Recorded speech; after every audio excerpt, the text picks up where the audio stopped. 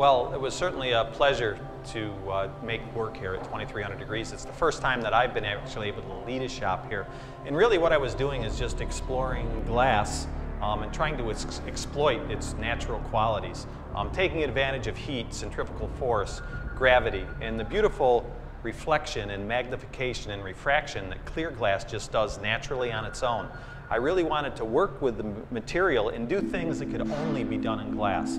So I was working with the glass very hot, very fluid, sculpting it, turning it, allowing it to move and flow on its own. And really, um, one of the biggest honors for me was to work with the team that I had.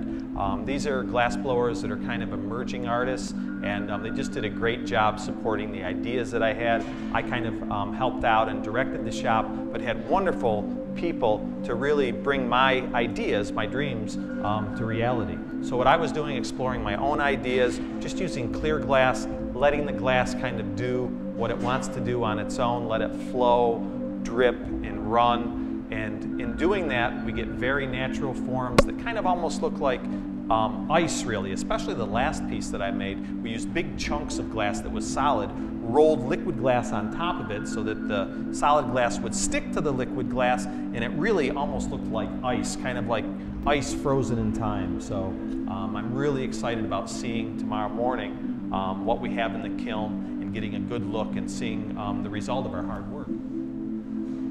2300 degrees to me is really a coming together of the community.